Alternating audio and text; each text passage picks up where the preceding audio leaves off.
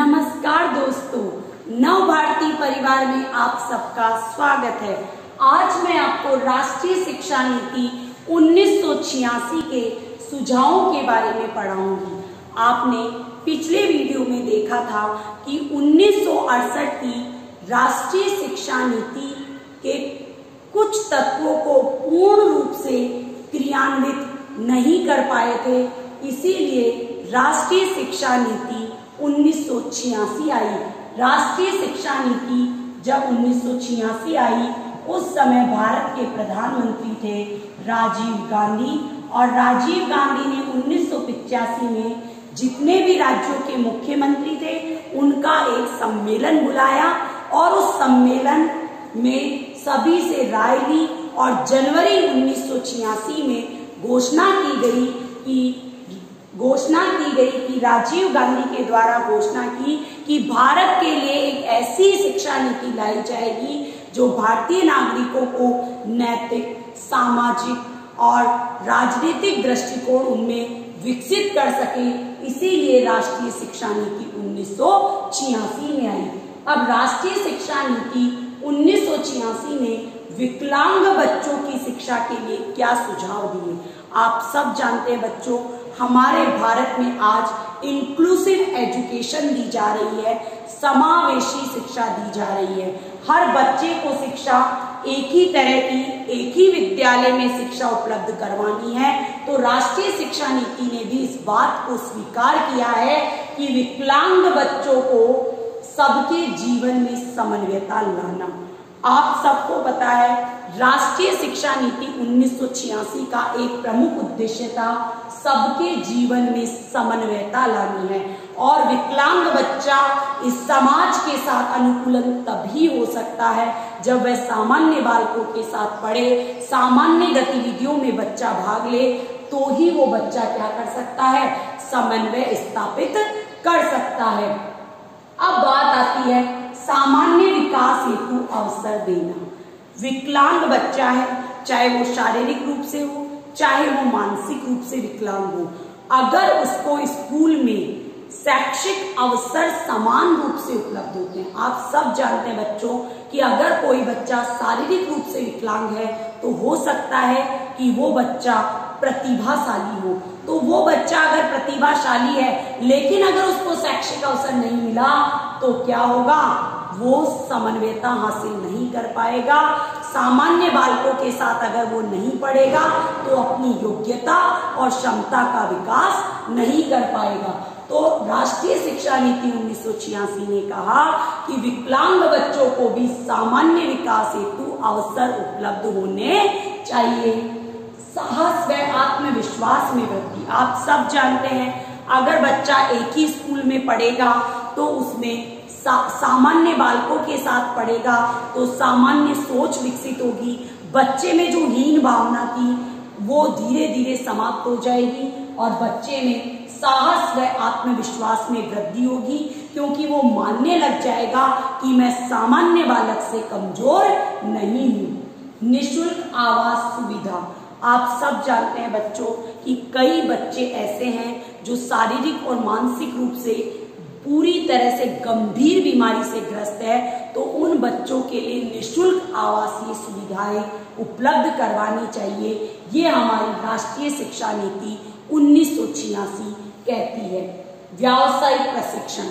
मान लो, शारीरिक रूप से विकलांग है, मानसिक रूप से विकलांग है, अधिगम एस समर्थी वाला बालक है, अपवंचित बालक है तो अगर उनको व्यावसायिक प्रशिक्षण दिया जाएगा और ऐसे प्रशिक्षित अध्यापकों के द्वारा पढ़ाया जाएगा तो वो बच्चा समन्वयता हासिल कर पाएगा। तो जो विकलांग बच्चे हैं, उनको व्यावसायिक प्रशिक्षण उपलब्ध करवाया जाना चाहिए और अध्यापक जो उनको पढ़ा रहे हैं, उनको भी प्रशिक्षित किया जाना चाहिए। स्वैच्छिक प्रयास। विकलांग बच्चों के लिए न केवल सरकार, बल्कि जनता को भी स्वैच्छिक प्रयास किए जाने चाहिए। आप जानते हैं, कई स्वयं सेवी संगठन ऐसे हैं जो निशुल्क चिकित्सकीय कैंप का आयोजन करते हैं, मेडिकल कैंप्स का आयोजन करते हैं, ताकि ये स्वैच्छिक प्रयासों के अंतर्गत आते हैं। सामान्य बालकों के साथ शिक्षा, जो मैं आपको बता रही थी बच्चों, क्या कि राष्ट्रीय शिक्षा नीति उन्नीस सौ छियासी कहती है कि गंभीर रूप से जो विकलांग नहीं है, जो हल्के रूप में विकलांग बच्चे हैं, उन बच्चों को सामान्य बालकों के साथ शिक्षा उपलब्ध करवानी चाहिए। तो ये विकलांग बच्चों की शिक्षा के लिए राष्ट्रीय शिक्षा नीति उन्नीस सौ छियासी में सुझाव दिए गए बच्चों। पहला, सबके जीवन में समन्वयता लाना, सामान्य विकास हेतु अवसर देना साहस व आत्मविश्वास में वृद्धि करना, निशुल्क व आवास सुविधा उपलब्ध करवाना, व्यावसायिक प्रशिक्षण व अध्यापक प्रशिक्षण प्रदान करना, स्वयंसेवी संगठनों के द्वारा विकलांग बच्चों के लिए स्वैच्छिक प्रयास करना, सामान्य बालकों के साथ शिक्षा विकलांगों को प्रदान करना, इस राष्ट्रीय शिक्षा नीति का मुख्य ध्येय था और राष्ट्रीय शिक्षा नीति में ये सुझाव दिए गए। दूसरा सुझाव था, बच्चों, अल्पसंख्यकों की शिक्षा। अल्पसंख्यक यहाँ पे एस सी एस टी और पिछड़ा वर्ग आता है, बच्चों। जो एस सी एस टी और अपवंचित यहाँ के जो बालक है, इन बालकों को बोलते हैं, बच्चों, अपवंचित बालक। अपवंचित बालक, जो शैक्षिक अवसर उपलब्ध नहीं होने के कारण पाठ्यक्रम में पिछड़ जाते हैं। अन्य सामान्य बालकों से पिछड़ जाते हैं क्योंकि उनको ढंग के विद्यालय नहीं मिलते। पढ़ाने वाले टीचर्स अच्छे नहीं हैं। माता पिता के पास में इतनी इनकम नहीं है कि उनको उच्च शिक्षा प्रदान कर सके। तो इन अल्पसंख्यकों की शिक्षा की व्यवस्था होनी चाहिए। जैसे कोठारी शिक्षा आयोग ने कहा शिक्षा के शुल्क में कमी होनी चाहिए, ट्यूशन फ़ीस में कमी होनी चाहिए, छात्रवृत्ति बच्चों को दी जानी चाहिए। यहाँ पर ये कह रहा है राष्ट्रीय शिक्षा नीति कि इनको व्यावसायिक प्रशिक्षण दिया जाना चाहिए। इनके लिए निशुल्क छात्रावासों की व्यवस्था की जानी चाहिए और इनके आसपास जो है विद्यालय स्थापित करवाए जाने चाहिए। ये कहती है आपकी राष्ट्रीय शिक्षा नीति उन्नीस नेक्स्ट आता है शिक्षक। शिक्षक के बारे में क्या कहती है कि इनके लिए अच्छे प्रशिक्षण संस्थानों की स्थापना की जानी चाहिए और इन प्रशिक्षण संस्थानों को सरकार के द्वारा अनुदान दिया जाना चाहिए। इसके अलावा शिक्षकों के वेतन, भत्ते, सेवा शर्तें, पदोन्नति आदि सभी तय होनी चाहिए और अच्छे होने चाहिए। पदोन्नति के अवसर उपलब्ध होने चाहिए ताकि शिक्षक जो है, आसानी से, तरीके से इस समाज में अपने आप को अनुकूलित कर सके और अच्छे से बच्चों को पढ़ा सके तो उनको वेतन, सेवा शर्तें और पदोन्नति के नियम तरीके से बनाए जाने चाहिए। उनके लिए नियम और उपनियमों की व्यवस्था होनी चाहिए। ये आपकी राष्ट्रीय शिक्षा नीति उन्नीस कहती है। फिर आता है बच्चों आपका क्या? एस, राष्ट्रीय शिक्षा कार्यक्रम। मैंने पिछले वीडियो में भी इसके बारे में बताया था कि हमारे भारत में ten plus two plus three की व्यवस्था की गई। टेंथ जो होगा वो माध्यमिक स्तर, ये है आपका उच्च माध्यमिक स्तर और ये है आपका स्नातक स्तर। ये तीन स्तरों पर शिक्षा प्रदान की जाएगी और माध्यमिक और उच्च माध्यमिक दो स्तर जो है, वो माध्यमिक स्तर के बना देंगे। एक जैसी शिक्षा प्रणाली होगी। टेंथ तक स्थानीय भाषा में शिक्षा दिया जाएगा और आपके स्नातक स्तर पर हिंदी व अंग्रेज़ी में शिक्षा प्रदान की जाएगी। एक जैसी शिक्षा प्रणाली समस्त भारत में लागू करवाने के पीछे सबसे बड़ा जो योगदान है, वो है राष्ट्रीय शिक्षा नीति उन्नीस सौ छियासी का। फिर आता है बच्चों एस सी व एस की शिक्षा। वही है जो अनुसूचित जाति, अनुसूचित जनजाति के जो बच्चे हैं, उनको लिए व्यावसायिक प्रशिक्षण होना चाहिए, उनके लिए निःशुल्क में, शुल्क में कमी होनी चाहिए, उनको अच्छे से अध्ययन सामग्री उपलब्ध होनी चाहिए। स्त्री शिक्षा। स्त्री शिक्षा में यहाँ पर यही है कि राष्ट्रीय शिक्षा नीति ने कहा कि स्त्री और पुरुष दोनों को समान माना जाना चाहिए। और स्त्री शिक्षा के लिए विशेष प्रयास किए जाने चाहिए। आसपास उनके विद्यालय स्थापित होने चाहिए। लड़कियों को परिवहन की सुविधा उपलब्ध होनी चाहिए। छात्रवृत्ति सुविधा उपलब्ध होनी चाहिए। उनको हस्तकोलक पोषण प्रशिक्षण संस्थानों की स्थापना की जानी चाहिए। व्यावसायिक प्रशिक्षण इन इन लड़कियों को प्रदान किया जाना चाहिए। ये स्त्री शिक्षा के बारे में सुझाव दिया राष्ट्रीय शिक्षा नीति उन्नीस में। फिर आता है बच्चों, पूर्व बाल्यावस्था शिक्षा। देखो बच्चों, यहाँ पे आपने माध्यमिक स्तर की बात की। यहाँ पर बात कर रहा है कि हर विद्यालय में कम से कम दो अध्यापक होने चाहिए। हर विद्यालय का रूल होना चाहिए कि प्राथमिक स्तर के जो विद्यालय होंगे, वहाँ पर कम से कम दो अध्यापक होंगे। और ये बात हमारा आरटीई एक्ट 2009 भी ये बात कहता है। आपका ऑपरेशन ब्लैक बोर्ड जो आया उन्नीस में, वो भी यही बात कहता है कि प्राथमिक स्तर पर जो भी विद्यालय होंगे, वहाँ पर कम से कम दो क्या होंगे? टीचर होंगे। इसके बाद ये कहता है कि प्राथमिक स्तर पर जो शिक्षा बच्चों को उपलब्ध करवाई जा रही है, उसको निशुल्क किया जाना चाहिए।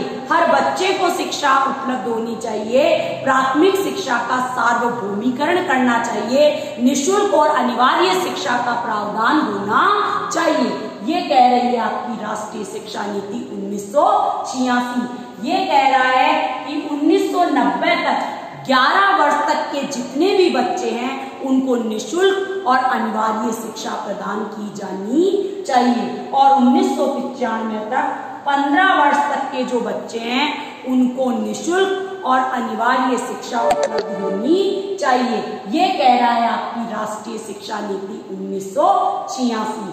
इसके अलावा, जो पूर्व बाल्यावस्था शिक्षा के बारे में कहा कि 14 वर्ष तक के बच्चे जो है वहाँ पर नामांकन और ठहराव को सुनिश्चित किया जाना चाहिए। एक किलोमीटर के दायरे पर प्राथमिक और दो किलोमीटर के दायरे पर उच्च माध्यमिक विद्यालयों की स्थापना की जानी चाहिए। ये आपका कौन सा अधिनियम कह रहा है? आपकी राष्ट्रीय शिक्षा नीति कह रही है कि विद्यालय जो है, एक किलोमीटर के दायरे में होगा, तभी हर बच्चा शिक्षित होगा। कोई बच्चा निरक्षर नहीं होगा। तो ये पूर्व बाल्यावस्था शिक्षा के बारे में कहा और कहा कि शारीरिक दंड नहीं दिया जाना चाहिए। क्या कहा? शारीरिक दंड। शारीरिक दंड किसी भी बच्चे को नहीं दिया जाना चाहिए। ये हमारी कौन सी? ये हमारी राष्ट्रीय शिक्षा नीति उन्नीस कहती है और ये भी कहती है कि जो बच्चे या जो इलाके पिछड़े हुए हैं और विद्यालय में प्रवेश तो ले लेते हैं, लेकिन उनकी घर की हालत ठीक नहीं होने के कारण माता पिता माता पिता का नकारात्मक रवैया, बच्चों में हीन भावना का विकास, कई ऐसे कारण होते हैं कि बच्चा नामांकित होने के बावजूद वहाँ पर अध्ययन नहीं कर पाता है तो उन बच्चों के लिए अलग से शिक्षा की व्यवस्था करना ये राष्ट्रीय शिक्षा नीति उन्नीस में सुझाव दिए थे कि जो बच्चे प्राथमिक शिक्षा नहीं कर, ग्रहण कर पा रहे हैं या बाद में शिक्षा ग्रहण करने आ रहे हैं उनको भी स्कूल में एडमिशन दिया जाना चाहिए। और जो बच्चे नहीं पढ़ पा रहे हैं वहाँ पर अनौपचारिक शिक्षा केंद्रों की स्थापना की जानी चाहिए। ये कह रहा है आपका राष्ट्रीय शिक्षा नीति। उन्नीस इसके अलावा कह रहा है मूल्यों की शिक्षा राष्ट्रीय शिक्षा नीति उन्नीस सौ छियासी कहती है कि बच्चों को मूल्यों की शिक्षा दी जानी चाहिए ताकि बालक का सर्वांगीण विकास हो सके। उनको सामाजिक मूल्यों की शिक्षा दी जानी चाहिए। दया, परोपकार एक दूसरे के साथ सहयोग, समन्वयता, सामाजिक गतिविधियों में भाग लेना, ये सारे गुणों का विकास जो है शिक्षा के माध्यम से बच्चे में किया जाना चाहिए तब ही हम अच्छी शिक्षा दे पाएँगे। ये कहना है आपका राष्ट्रीय शिक्षा नीति उन्नीस सौ छियासी का परीक्षा प्रणाली। उन्नीस सौ छियासी की राष्ट्रीय शिक्षा नीति कहती है, किसी भी बच्चे को फेल मत करो। किसी भी बच्चे को फेल मत करो। अंकों के आधार पर परीक्षा परिणाम को डिसाइड नहीं करके ग्रेडिंग प्रणाली को स्टार्ट किया जाना चाहिए। किसी भी बच्चे को फेल नहीं किया जाए, उसको ग्रेड दी जाए। सतत समग्र मूल्यांकन होना चाहिए। लगातार बच्चे का मूल्यांकन किया जाना चाहिए। परीक्षा प्रणाली जो एक सीमित पाठ्यक्रम तक सीमित है, उसको विस्तृत किया जाना चाहिए। ये हमारी राष्ट्रीय शिक्षा नीति उन्नीस ने सुझाव दिया था कि परीक्षा प्रणाली में बदलाव करना चाहिए। सतत समग्र मूल्यांकन किया जाना चाहिए। अंकों के स्थान पर बच्चों को ग्रेडिंग प्रणाली के माध्यम से अंक दिए जाने चाहिए। फिर आता है नवोदय विद्यालय। ग्रामीण क्षेत्र के जो प्रतिभाशाली बच्चे हैं उनको नवोदय विद्यालयों में एडमिशन दिया जाता है। और पिछहत्तर परसेंट जो बच्चे होते हैं, वो ग्रामीण इलाकों के होते हैं और नवोदय विद्यालयों में एक तिहाई हिस्सा होता है आपका किसका? महिलाओं का होता है। इसमें एस सी एस टी इनको भी एडमिशन के लिए आरक्षण उपलब्ध होता है। ये नवोदय विद्यालय सीबीएसई से संबद्ध होते हैं। नवोदय विद्यालय आवासीय विद्यालय होते हैं, निशुल्क आवासीय विद्यालय होते हैं, जिनमें माता पिता से किसी भी प्रकार का वे वसूल नहीं किया जाता है। बिना पैसे के प्रतिभाशाली बच्चा आराम से शिक्षा ग्रहण कर सके, उच्च शिक्षा प्राप्त कर सके, अपनी योग्यता व क्षमता का विकास कर सके तो इसी के लिए आया आपका नवोदय विद्यालय। तो नवोदय विद्यालय है आपकी राष्ट्रीय शिक्षा नीति उन्नीस सौ छियासी की देन मानी जाती है। उसके बाद आता है माध्यमिक शिक्षा का व्यवसायीकरण। ये आपके कोठारी आयोग ने भी ये बात कही थी कि स्कूली स्तर पर 30 परसेंट बच्चों का व्यावसायीकरण, व्यावसायिक स्कूल को ले जाने चाहिए और उच्च शिक्षा में 50 परसेंट बच्चों को व्यावसायिक शिक्षा अवेलेबल होनी ही चाहिए। इसी बात को दोहराया आपकी राष्ट्रीय शिक्षा नीति उन्नीस सौ छियासी ने। इसने कहा कि 1990 तक 10 परसेंट बच्चों को व्यावसायिक शिक्षा प्रदान की जाएगी और उन्नीस सौ पंचानवे तक 25 परसेंट माध्यमिक स्तर के जो विद्यालय है, वहाँ पर वोकेशनल एजुकेशन बच्चों को दी जाएगी, व्यावसायिक शिक्षा दी जाएगी ताकि बच्चा जब स्नातक शिक्षा प्राप्त कर ले तो उसको रोज़गार उपलब्ध हो सके। उसको रोज़गार उपलब्ध हो सके। इसके लिए माध्यमिक शिक्षा के व्यावसायीकरण का सुझाव दिया आपकी राष्ट्रीय शिक्षा नीति उन्नीस ने। उसके बाद आता है कार्यानुभव। सही बात है बच्चों, माध्यमिक स्तर पर बच्चे को हस्त कौशल प्रशिक्षण वाद विवाद प्रतियोगिता या कुछ ऐसे कौशल बच्चे में विकसित किए जाएँगे। कुछ उनको ऐसा व्यावसायिक प्रशिक्षण दिया जाएगा। कुछ ऐसी समस्याएँ उसको दी जाएगी।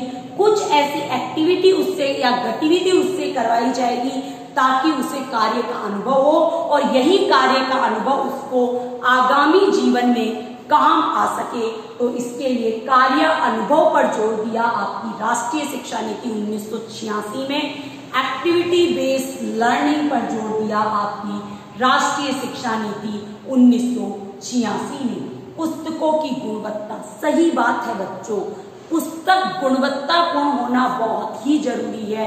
अगर बच्चे को अच्छा अधिगम करवाना है, बच्चे को नॉलेज देनी है, ज्ञान देना है, अनुसंधान के कार्यों में उसकी रुचि उत्पन्न करनी है, रटने की प्रवृत्ति को कम करना है समझने की पद्धति को आगे करना है, सृजनात्मक कौशल विकसित करना है, रचनात्मक कौशल बच्चे में उत्पन्न करना है तो पुस्तकों की गुणवत्ता गुणवत्तापूर्ण होना बहुत ही ज़रूरी है। और हमारी राष्ट्रीय शिक्षा नीति उन्नीस सौ छियासी ने ये बात कही कि पुस्तकों की गुणवत्ता का होना बहुत ही ज़रूरी है। फिर आता है बच्चों ग्रामीण विश्वविद्यालय। आपने बच्चों नाम भी सुना होगा। गांधी जी ने एक योजना दी थी बच्चों, वर्धा योजना। और इस वर्धा योजना जो कि महात्मा गांधी ने दी थी, इस वर्धा योजना में कहा गया कि ग्रामीण क्षेत्र के बच्चों को हस्त कौशल प्रशिक्षण दिया जाना चाहिए। हाथ के कौशल का दरी बनाना है, चरखा चलाना है, खादी उद्योग है, अचार बनाना है। दरिया बनाना है क्राफ्ट आइटम बनाने हैं, इसके लिए वहाँ पर विश्वविद्यालयों की स्थापना की जानी चाहिए ताकि ग्रामीण क्षेत्र का बच्चा बेरोजगार नहीं हो सके और एक ऐसे विश्वविद्यालय बनाए जाए ताकि उनको इस तरह के हस्त कौशल में पारंगत किया जा सके, प्रशिक्षित किया जा सके। उच्च शिक्षा और खुला विश्वविद्यालय। आप सब जानते हैं बच्चों कि हर अनुसंधान कार्य बढ़ रहे हैं। बच्चा माध्यमिक स्तर से उच्च स्तर पर जा रहा है तो उच्च शिक्षा केंद्रों की स्थापना होनी चाहिए। उनको शोध कार्य करने के लिए उच्च शिक्षा केंद्रों की स्थापना की जानी चाहिए। और लेकिन दूरस्थ जो इलाके हैं, वहाँ पर बच्चे डिग्री प्राप्त नहीं कर पाते तो उनके लिए पत्राचार कार्यक्रम पत्राचार के माध्यम से डिग्री उपलब्ध करवाने के लिए इग्नू जो स्थापित हुआ था, उसको सहायता प्रदान करने की बात इंदिरा गांधी ओपन यूनिवर्सिटी, जो कि उन्नीस में स्थापित हो चुकी थी, उसको सहायता उपलब्ध करवाना राष्ट्रीय शिक्षा नीति उन्नीस सौ छियासी का मुख्य ध्येय था। उपाधि, रोज़गार, असंबद्धता एवं राष्ट्रीय परीक्षण सेवा। मतलब ये है कि बीटेक आया बीबीए आया बीसीए आया, कुछ ऐसी डिग्रियाँ बच्चे को प्राप्त की जाए ताकि वो उस विषय में पारंगत हो सके। उस कौशल में, जैसे आप जानते हो, डिग्री दी जाती है मैकेनिकल इंजीनियरिंग की अलग, प्राविधिकी शिक्षा, डॉक्टर्स की अलग अलग, जो डिग्रियाँ प्रदान की जा रही है, उनके लिए कुछ ऐसे सेंटर होने चाहिए या जो उनको शिक्षा उपलब्ध करवा रहे हैं, या उन क्षेत्र में अनुसंधान कार्य कर रहे हैं, या ऐसे तकनीकी और प्राविधिकी कॉलेज को स्थापित करने के लिए संस्थान होने चाहिए, ये कह रही है आपकी राष्ट्रीय शिक्षा नीति उन्नीस फिर कह रहा है प्रौढ़ शिक्षा जो पढ़ नहीं पाए, जो पढ़ना चाहते हैं, उन 15 से 35 साल तक के जो लोग हैं, उनको शिक्षा उपलब्ध करवाई जाए ताकि भारत में कोई भी निरक्षर ना हो। इसके लिए प्रौढ़ शिक्षा केंद्रों की स्थापना की जाए। फिर आता है प्रौद्योगिकी एवं प्रबंध शिक्षा। मैनेजमेंट एजुकेशन दी जाए प्रौद्योगिकी तकनीकी एजुकेशन बच्चे को अवेलेबल करवाई जाए, क्योंकि अगर देश का आर्थिक विकास करना है, लोगों के जीवन स्तर को ऊँचा करना है तो प्रौद्योगिकी और प्रबंध शिक्षा पर ज़ोर दिए जाने चाहिए, अनुसंधान कार्य करवाने चाहिए, ऐसे विश्वविद्यालयों की स्थापना की जानी चाहिए। विश्वविद्यालयों का प्रबंधन करने के लिए बड़े संस्थान की स्थापना की जानी चाहिए। ये कह रही है आपकी राष्ट्रीय शिक्षा नीति उन्नीस सौ छियासी। तो राष्ट्रीय शिक्षा नीति ने क्या क्या सुझाव दिए? इसके बारे में हमने इस वीडियो में देखा। पहला आपने देखा विकलांग बच्चों की शिक्षा के लिए सुझाव। दूसरा अल्पसंख्यकों की शिक्षा के लिए सुझाव। तीसरा शिक्षकों के वेतन, सेवा और पदोन्नति के संबंध में सुझाव। चौथा राष्ट्रीय शिक्षा कार्यक्रम ten plus two plus three की व्यवस्था। एस व एसटी के लिए व्यावसायिक प्रशिक्षण।